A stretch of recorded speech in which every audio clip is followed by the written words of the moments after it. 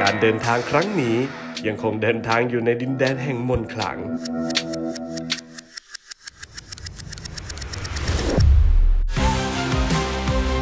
เป็นวัดที่สวยมากนะโอ้อีกโลกหนึ่งเลยก็ว่าได้ เป็นไงน้องแพรคุ้มค่าไหมกับการขึ้นมาตรงนี้ คุ้มมากค่ะ ที่เราไปแต่ละครั้งแต่ละสถานที่เนี่ยบางคนอาจจะไม่รู้ด้วยซ้ำว่าประเทศไทยเรามีเพื่อนเพื่อนๆทหารเราปกป้องสถานที่ของประเทศไทยเราไว้ให้ลูกหลานเราดูต่อไปได้ ได้ไปในที่ที่ไม่คิดว่าเราจะได้ไป เอาอุปกรณ์กีฬาไปให้เด็กๆ เอาอุปกรณ์งานกีฬาไปให้พี่ๆทหารที่เขาอยู่ชายแดน มันคือสิ่งที่พี่ตั้งใจเลยว่าเอาความสุขตรงเนี้ยมามอบให้กับพี่ๆทหาร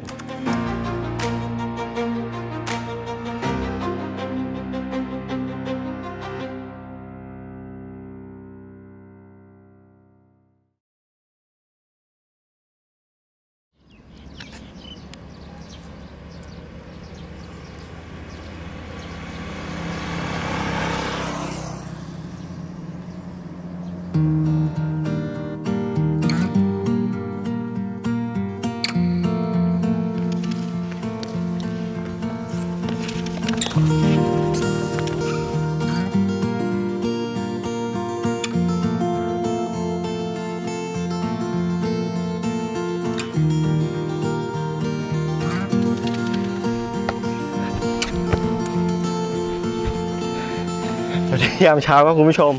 เช้านี้ก็ได้มาออกกำลังกายกับน้องๆนะครับ ที่โรงเรียนพนมดงรักอะน้องแพลวเป็นไงเหนื่อยไหมเชียร์พี่เนี่ยฮะสนุกค่ะก็เด็กๆเขาก็เชียร์พี่ๆอยู่นะเขาลุ้นอยู่ว่าพี่จะเตะโดนหรือเปล่า รับเอ้ย ลูกโดนก็บุญแล้ว เออพอได้ พอได้ไหมพอได้พพออได้ ได้อยู่นะ โอเคครับวันนี้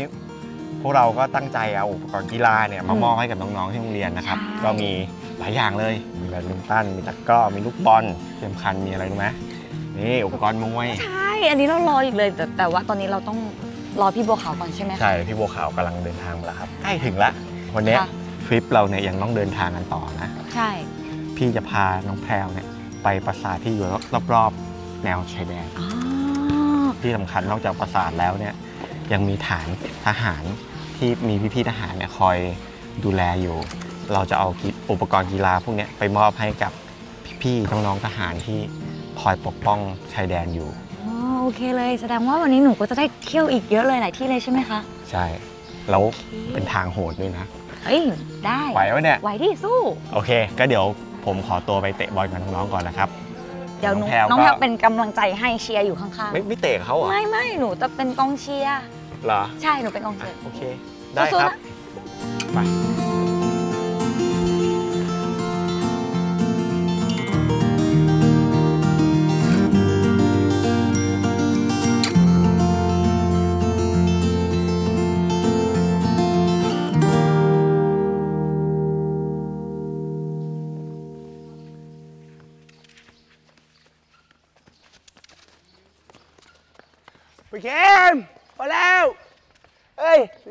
ยกเด็กมานี่เร็วมาซ้อมมวยเร็วมาเร็วมาเร็วมาเร็วมา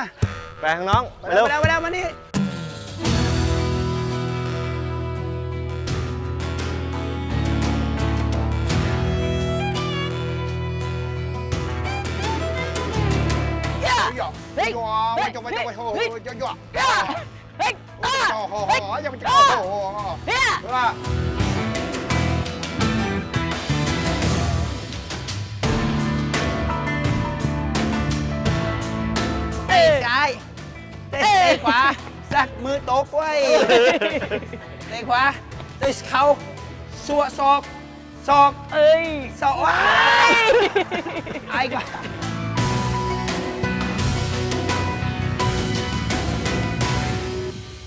อันนี้มีคนมอบนี่อุปกรณ์อย่างนี้เราถ้าเกิดเราตั้งใจนะครับ วันหนึ่งเราก็จะเป็นของตัวเราเองเนาะ ถ้าเกิดเราตั้งใจสักอย่างไม่ต้องกลัวเจ็บนะครับยังไงก็เจ็บอยู่แล้วแหละการชกมวยต้องลงทุนทุกอย่างต้องลงทุน ถ้าเกิดเราอยากตั้งใจจะทำอะไร ลงมือเนี่ยสำเร็จทุกคนตั้งใจอย่างเดียวหนึ่งสอง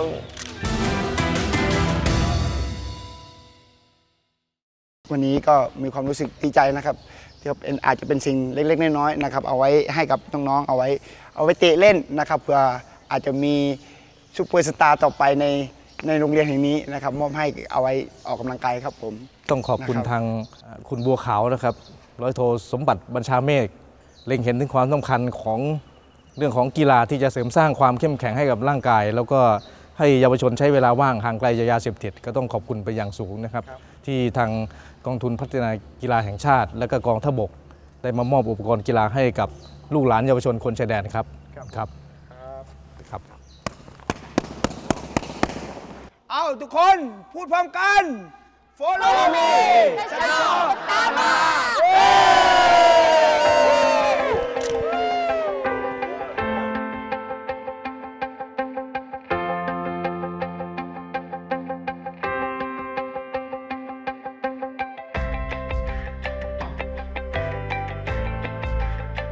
พี่เข็มพาหนูขึ้นรถมาแบบนี้นี่คือจะพาไปไหนคะ เดี๋ยวจะพาไปฐานอาหารตรงนี้ตรงนี้เขามีฐานอาหารอยู่ ที่แบบเขาคอยดูแลปกป้องนี่น้องๆนักเรียนประชาชนตรงพนมดงรัก ค่ะไปให้กำลังใจเขาหน่อย อันนี้คือเขาดูแลอ่าสเก็ตชายแดนอยู่ใช่ดูแลนักก็เรียนจะมีฐานทหารอยู่ที่นี่ดีค่ะเยอะ แล้วก็ตอนนี้เราจะไปไม่ใช่ไปดูอะไปเยี่ยมไปเยี่ยมทหาร เพื่อนๆทหารนะครับที่เขาดูแลพื้นที่แถวนี้อยู่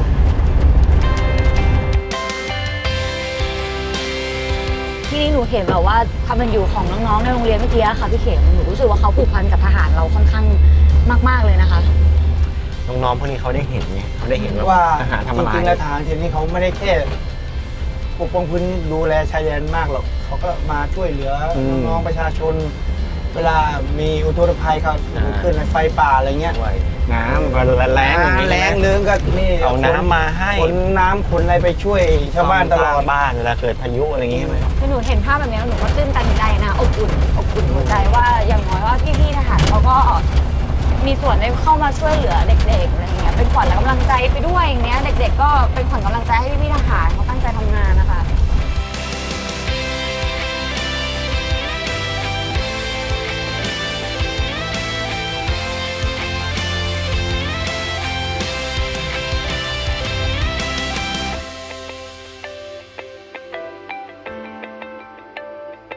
วัสดีครับสวัสดีครับครับสวัสดีครับวันไหนเป็นนักมวยวันไหนเป็นนักมวยไหมกำลังหัดครับกำลังหัด เดี๋ยวเสียหาอุปกรณ์มาให้หัดลองเบิ่งเอามาหนึ่งสองสามเฮ้ยปึ้งโอ้โหยเฮ้ยเฮ้ยเฮ้ยเฮ้ยเฮ้ยเฮ้ยใส่ใส่ปึ้งเอ้ยไอ้ขวาขวาขวาขวาขวาปึ้งโอ้ยตายตายตายตายตายปักเออเฮ้ยปักเฮ้ยปักเฮ้ยปักเฮ้ยเจ๊เจ๊เจ๊ปักเฮ้ยใช่ได้เว้ยเฮ้ยเฮ้ย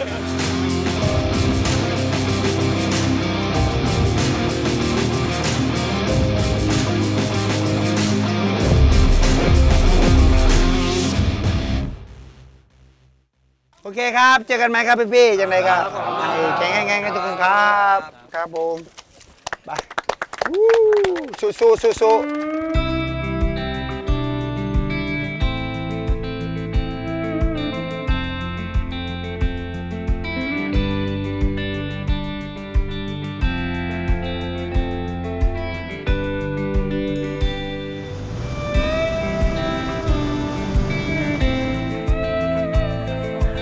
เราอยู่กันที่ปราสาทตาเมืองเราชมมาหอดแล้วแล้วมากระถึงแล้วครับมาถึงถึงแล้วนะอยู่กับนี่ก็น้องคือน้องๆมักกุเทศๆมักกุเทศน้อยน้อยมักบกุนเทศหน่อยน้อยนี่ซ้ำซ้ำแขนอะไรอะไรซ้ำแขนตัวใหญ่ตัวใหญ่แล้วตัวใหญ่แล้วพี่อยากรู้พี่อยากรู้ว่าใช่ปราสาทตามเมืองทมเนี่ยคือความหมายคือความอะไรความไอ้ไอ้คำว่าตามเมืองทมเนี่ยเป็นภาษาท้องถิ่นที่นี่ใช่ไหมค่ะ ปราสาทตะเมือนทมค่ะตะเมือนแปลว่า เมือนแปลว่าไก่ค่ะ ทมแปลว่าใหญ่รวมกันเป็นปราสาทไก่ใหญ่ค่ะ ปราสาทหลังนี้นะคะ สร้างด้วยหินสองชนิดค่ะ มีหินทรายและหินศิลาแรงค่ะ จะสังเกตได้ว่าหินทรายจะมีพื้นเรียบค่ะ ส่วนหินศิลาแรงจะมีรูพรุนค่ะ ส่วนรูที่เห็นในหินเจ่อไว้เพื่อให้ช้างลากมาเพื่อประกอบเป็นตัวปราสาท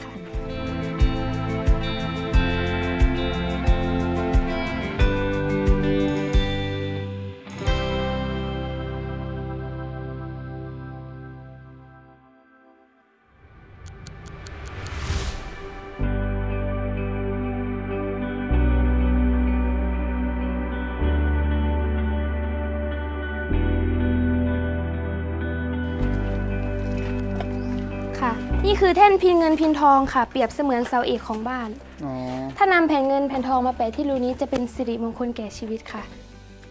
อันนี้คือแท่นปฏิมากรรมค่ะ หรือแท่นยึดเทวรูปค่ะ รูที่เห็นใช้สำหรับยึดเทวรูปไม่ให้เคลื่อนที่ค่ะ อ๋อ แต่ว่าเทวรูปไม่อยู่แล้ว ค่ะ เทวรูปไปอยู่พิพิธภัณฑ์ อันนี้หนูจะถามพี่บัวขาวค่ะ ว่า อันนี้มองเห็นเป็นรูปอะไร รูปอ่ารูปอ่ารูปรูปเดี๋ยวเดี๋ยวนะ ผมรู้จักแล้ว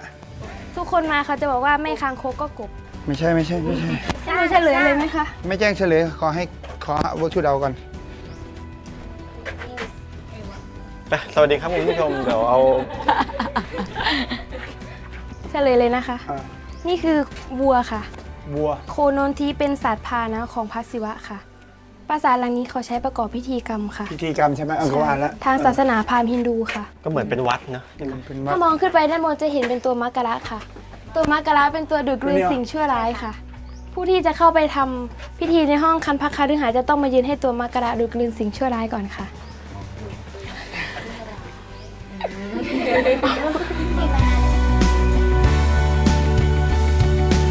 อันนี้คือสีวลึงค่ะหรือลึงที่เกิดขึ้นเองตามธรรมชาติ ว่ากันว่าพระศิวะกำลังเสพสมกับพระนางอุมามเหสีได้มีเทวดาตนหนึ่งไปเห็นเข้า จึงสร้างความอับอายให้กับพระศิวะเป็นอย่างมากค่ะ ก่อนที่พระศิวะจะสิ้นใจจึงตั้งจิตอธิษฐานว่า สิ่งที่ทำให้พระองค์อับอายนั้นขอให้กลับกลายมาเป็นสิ่งสักการะบูชาในปัจจุบันค่ะ ก็เลยได้เป็นสีวลึงขอบคุณน้องๆเขาที่ให้ข้อมูลเราขในอบวันคุณนี้มากครับ ที่พาที่พี่พาๆเรามามาเยี่ยมชมเยี่ยมชมปราสาทแล้วก็ พร้อมกับข้อมูลดีๆเนอะครับค่ะถ้าไม่มีน้องๆมานี่เราก็คงไม่รู้นะว่ามีใช่ดีเทลมีอะไรยังไงนี่พี่ได้ดูดสิ่งชั่วร้ายไปจากตัวแล้วดูดไปแล้วเมื่อกี้ต่อไปก็จะเป็นคนดีละโอเคครับก็เดี๋ยวพี่ขอตัวไปเดินเล่นถ่ายรูปขอบคุณใน้องๆทุกคนปรานะสาทเดี๋ยวพี่ขออนุญาตไปถ่ายรูปก่อนเด้อขอบคุณมากครับขอบคุณค่ะขอบคุณมากครับ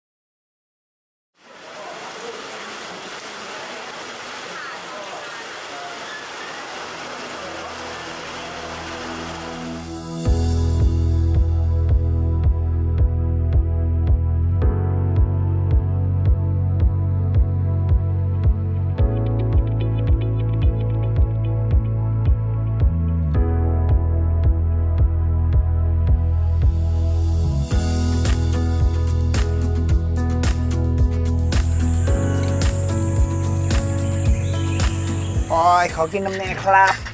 ครับกำลังหิวเลยครับ โอ้ยชุดชุดเลยครับอันนั้นพี่บัวเอามาให้หนูกินใช่ไหมข้าวกล่องใช่แต่หนูไม่กินอะหนูอยากกินข้าวพี่ทหารยกยกตัวนี้ออกไปเลยจะบังเดี๋ยวโอเคคุณผู้ชมครับ พวกเราเนี่ยก็อยู่ที่ฐานปฏิบัติการหนองแคนะครับ ก็อยู่ใกล้ ๆกับปราสาทตาควาย แนวชายแดนเพื่อนบ้านเลยนี่วันนี้ก็มาทานข้าวกับพี่ๆทหารที่เขาดูแลปกป้อง เป็นรั้วของชาติอยู่ตรงนี้นะครับ กินข้าวเสร็จเดี๋ยวเอาอุปกรณ์กีฬามามอบให้พี่ๆเขาด้วยแล้วมีอุปกรณ์กีฬามองให้ด้วยยูใส่ต้นไม้แล้วก็เตะเล่นเป็นไงบ้างครับพี่ที่มาอยู่ตรงนี้ ก็คือตลอดแนวที่เราขับรถผ่านมาเนี่ยก็คือมีฐานเราอยู่ตลอด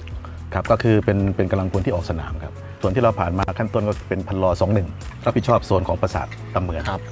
ส่วนส่วนนี้เป็นของพันรอสองสองครับครับแล้วรับผิดชอบในส่วนของปราสาทตะควายครับอืม เนี่ยเห็นไหมพี่น้องประชาชนไม่ต้องเป็นห่วงเลยว่า จะเกิดอันตรายหรือว่าใครจะเข้ามาลุกลานไม่ได้แน่นอนครับ เพราะมี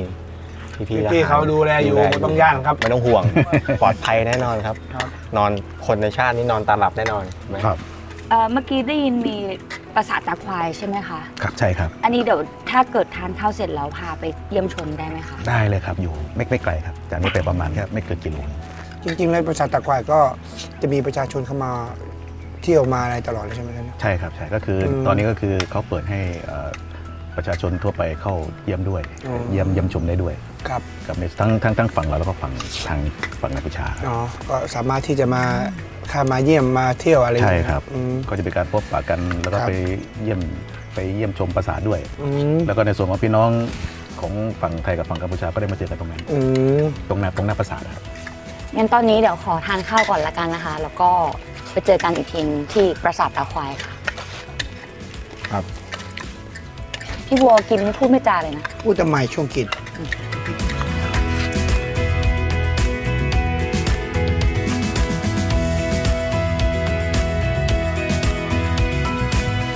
ครับก็มือนี้ครับขอบคุณนะครับสำหรับกับเขาวแซบครับสมตำโอ้โหลาบหมูแซบแห้งครับ ครับก็มาวันนี้ก็บ่มีอย่างไรครับ ก็จะมีอุปกรณ์นะครับ จากกองทุนพัฒนากีฬาแห่งชาติครับ ก็เกี่ยวกับร่วมกับกองทัพบกครับจะมีอุปกรณ์กีฬาเป่าน่วมนะครับฟุตบอลตะกร้อยหยังเอาไว้ซ้อมต้อนลาว่างนะครับมามอบให้มื้อนี้ครับครับ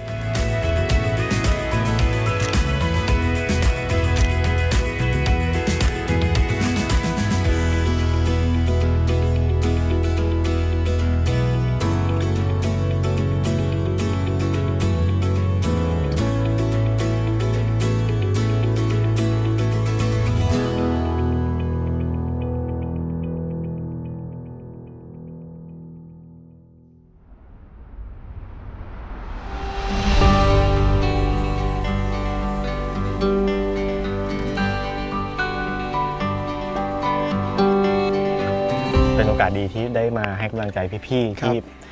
ฐานพรานนะครับที่ปกป้องอยู่ตรงนี้เป็นทำหน้าที่ปฏิบัติอยู่ตรงนี้นะใช่ก็เอาธงชาติมาให้ครับธงชาคติรับที่ถูกต้องตามพรบธงพรบธงสีถูกต้องทุกอย่างเพื่อเพื่ออันข้างบนเก่าแล้วเปลี่ยนได้ครับครับผมครับผมจะมอบให้ครับครับเป็นกำลังใจครับครับ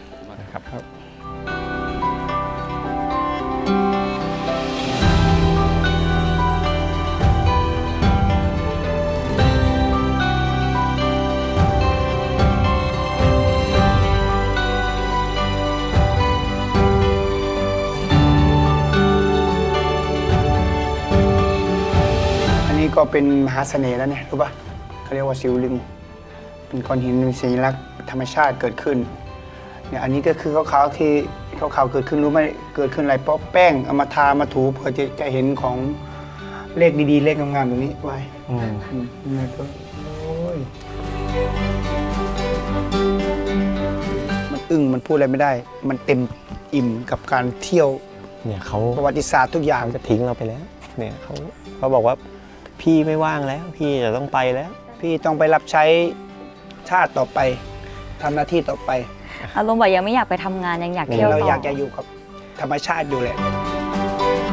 เป็นไงน้องแพลวมารายการ Follow Me ครั้งแรกได้มาเป็นพิธีกรคู่กับพี่แล้วก็พี่บัวรู้สึกไงบ้างผมเป็นครั้งแรกที่รู้สึกประทับใจทุกอย่างเลยค่ะ รู้สึกมีความดีใจไหมหรือมีความปวดหัวไหมดีใจมากได้ออกเป็นพิธีกรด้วยกัน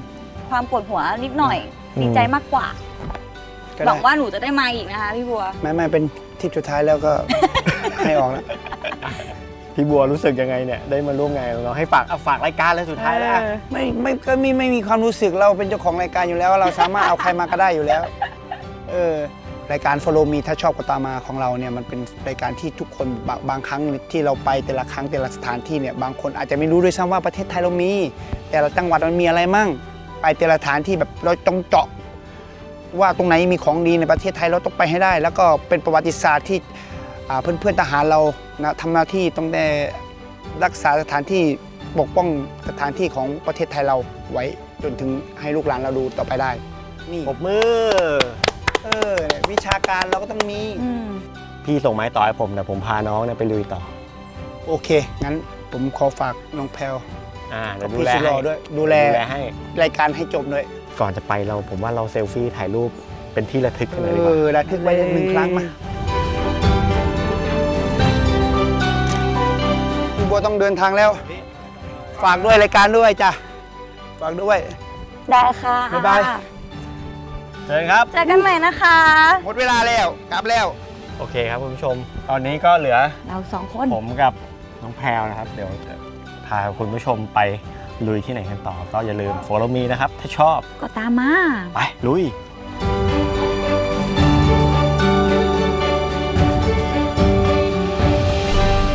ตัวไม่น่าเลย ไปไหวเกินยังอยู่จะติดภารกิจไงนี่อย่างที่บอกอะเสียดาายมันมีที่ให้เราต้องไปอีกต้องเยอะอยากให้พี่เขาไปด้วย ร้ายแต่ตัวเขาไปใจเขายังอยู่นี่ โอเค เวลาเรายังพอมีใช่ไหมคะ น้องอยากไปไปไหว้พระทำบุญอะไรอย่างเงี้ยพี่เขมอ่ามีมีมีที่นี่เขามีวัดดัง จริงเหรอ วัดช้างหมอบเคยได้ยินปะใช่ วัดช้างหมวัดอบมงคลคชารามไหมใช่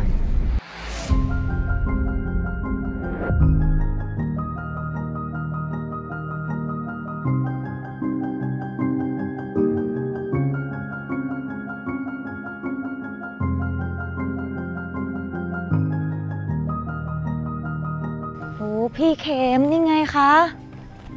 หนูคิดว่าน่าจะเป็นเพราะแบบนี้หรือเปล่า คนถึงได้เรียกว่าวัดช้างหมอบพี่ว่าอาอาจจะพอช้างมาเจอพระที่เขาเรียกว่าปฏิบัติธรรมมาเยอะๆแล้วมีบุญบารมีอย่างเงี้ยช้างอาจจะหมอบให้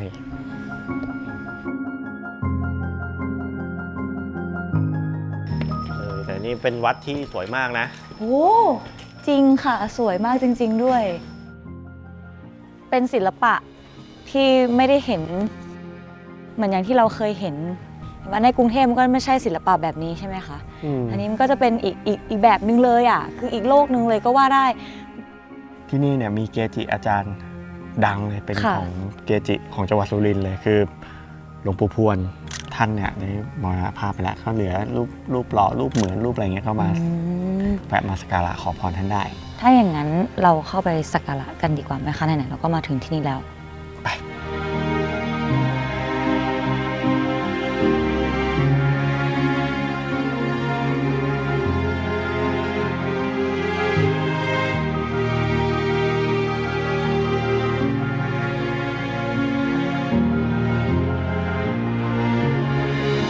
เดี๋ยวมันหมดแต่เพียงเท่านี้ วันนี้เดี๋ยวพี่จะพาน้องเนี่ยไปดู วิว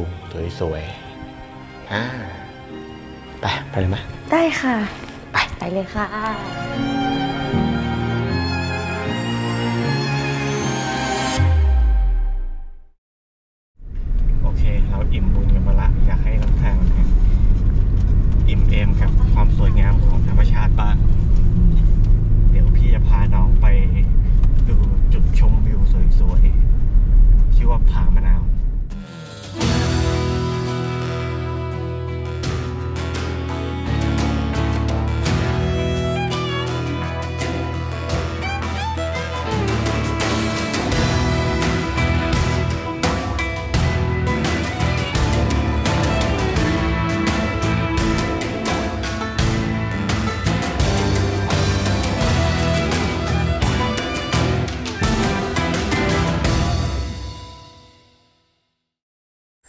เป็นไงน้องแพรคุ้มค่าไหมกับการขึ้นมาตรงนี้ผามะนาว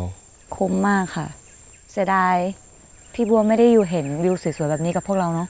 อืม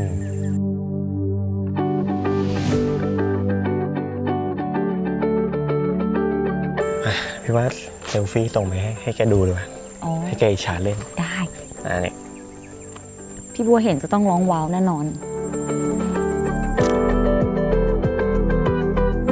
ทริปเนี้ยเนี่ยยังไม่จบนะ พรุ่งนี้ยังเหลืออีกหนึ่งวัน พรุ่งนี้เนี่ยพี่จะพาน้องแพรวไปสีสะเกตเอ้าเหรอคะ ใช่ พรุ่งนี้พี่จะพาน้องแพรวเนี่ยไปผามอยแดงอู้เคยไปปะไม่เคย อ่าพี่ก็ไม่เคยไปเหมือนกัน โอเคงั้นพรุ่งนี้เราต้องไปลุยกันแต่วันเนี้ยหนูอยากชมบรรยากาศแบบสดชื่น อืมโอเคครับคุณผู้ชม เดี๋ยวผมกับน้องแพรวเนี่ยขอ ดื่มด่ำกับธรรมชาติ วิวสวยๆ แบบนี้ก่อนแล้วเดี๋ยวพรุ่งนี้เจอกันนะครับ กับรายการ Follow me ถ้าชอบก็ตามมาครับ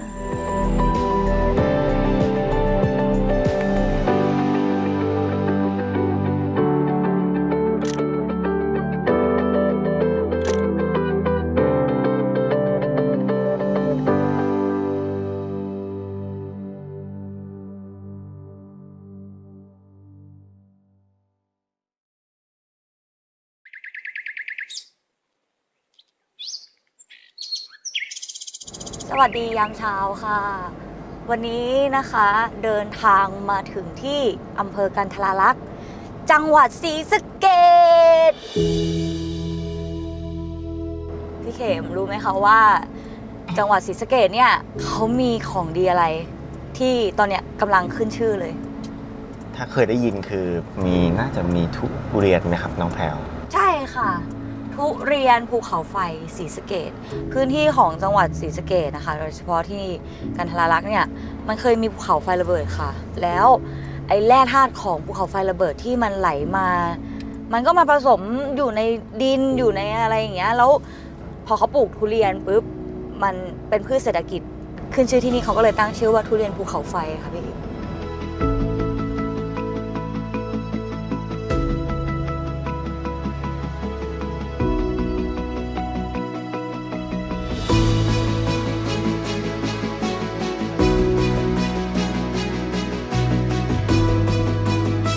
เดี๋ยวน้องแพลวจะพาพี่เข็มไปเจอเจ้าของสวนทุเรียนค่ะ นี่สวัสดีสค่ะวัสดีค่ะ ครับ สวัสดีค่ะยินดีต้อนรับทุกท่านนะคะ เข้าสู่สวนทุเรียนเกษรินแลนเอ้ยด์ทุเรียนภูเขาไฟนะคะ ยินดีต้อนรับทุกท่านเลย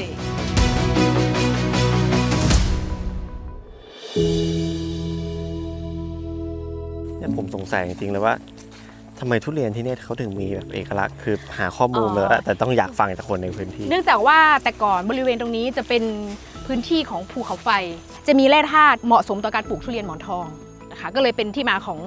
ดินที่มีความอุดมสมบูรณ์ในการเพาะปลูกนะคะประมาณนั้นวันนี้ต้องได้ลองชิมไหมครับ ชิมค่ะ วันนี้มีให้ชิมนี่ค่ะเราจะได้กินทุเรียนจากสวนแล้วอะค่ะค่ะ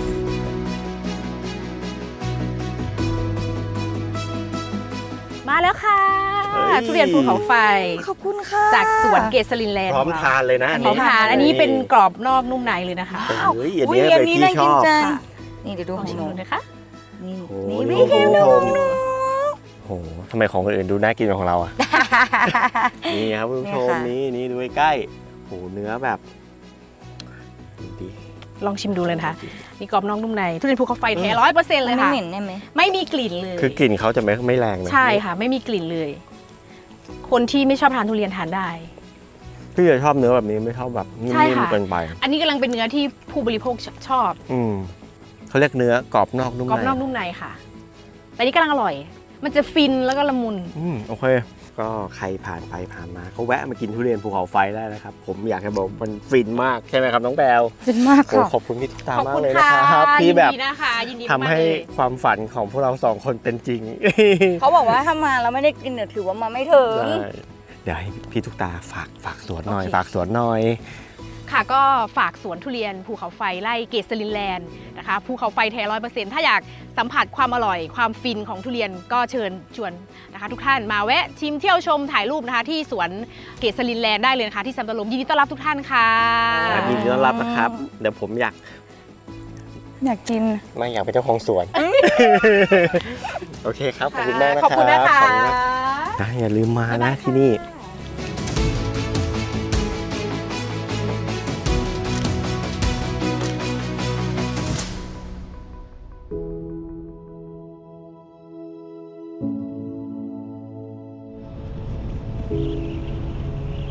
พี่ต้องขอบคุณน้องแพรวมากเลยนะครับ ที่พาพี่เนี่ยมากินทุเรียนภูเขาไฟนี่ประทับใจความฟินของมันเนี่ยก็ต้องขอบคุณพี่เขมเหมือนกัครันที่แบบตามใจน้องนะ เพราะว่ามันเป็นเป้าหมายที่น้องตั้งใจมามาทริปเนี่ยเราต้องต้องมากินทุเรียนให้ได้น้องอยากไปไหนพี่พาไปหมดเลยอืมน่ารักที่สุด เดี๋ยวที่ต่อไป พี่จะพาน้องแพรวไปผามอยแดง แล้วก็ไปทำภารกิจของเราเนี่ยที่ยังทำไม่เสร็จคือเอาอุปกรณ์กีฬาต่างๆเนี่ยไปให้พี่ๆทหารที่ตามฐานชายแดนด้วย ได้ค่ะ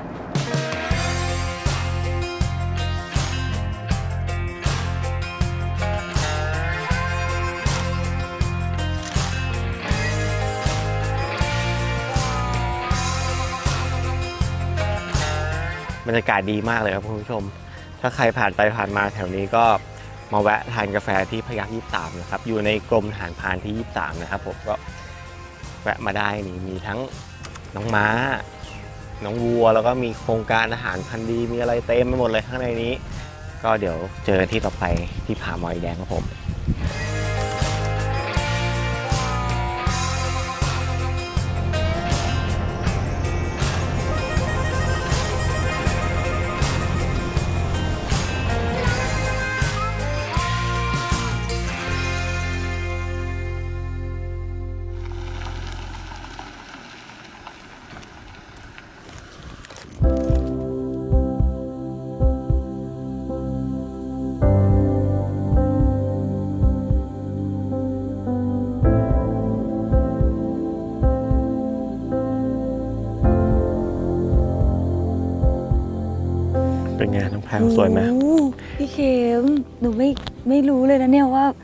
สวยขนาดเนี้ยค่ะ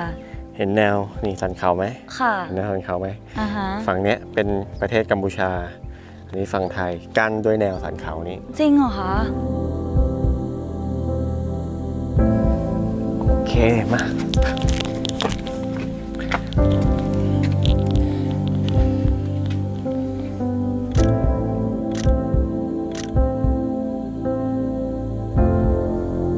เป็นไงบ้างน้องแพรวมาทริปนี้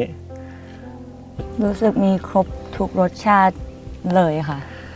ได้ไปในที่ที่ไม่คิดว่าเราจะได้ไป เอาอุปกรณ์กีฬาไปให้เด็กๆ เอาอุปกรณ์งานกีฬาไปให้พี่ๆทหารที่เขาอยู่ชายแดน มันคือสิ่งที่พี่ตั้งใจเลยว่า อยากจะเอาอุปกรณ์กีฬาเนี่ยจากกองทุนพัฒนาการกีฬาแห่งชาติเนี่ยเอาความสุขตรงเนี้ยมามอบให้กับพี่ๆทหารค่ะภารกิจวันนี้ยังไม่จบนะ ค่ะ เดี๋ยวพี่จะพาน้องแพรวเนี่ยไปทำภารกิจให้จบ ตรงเนี้ยมีฐานทหารอยู่สองฐานอืมแล้วก็ยังมีอุปกรณ์กีฬาของเรายังเหลืออยู่ ที่จะเอาไปมอบให้เขาเตรียมพร้อมไว้แล้วโอเคครับ ก็ฝากติดตามรายการของพวกเราด้วยนะครับ รายการ Follow Me ถ้าชอบก็ตามมาทางช่องทางไหนอะทั้งช่องห้าแยกลาดพร้าว ทุกวันเสาร์เวลา 6 โมงเย็นค่ะ อย่าลืมกดไลค์ กดแชร์แล้วก็กด Subscribe พวกเราด้วยนะครับ เป็นกำลังใจให้พวกเรา ในการทำรายการแบบเนี้ยพาคุณผู้ชมออกไปท่องโลกกว้างออกไปพบกับสถานที่ที่มัน Amazing แบบนี้นะครับ กับรายการ Follow Me ครับถ้าชอบก็ตามมานะครับ ไป น้องแพรวเราไปทำภารกิจกันให้จบ บ๊ายบายค่ะ ไป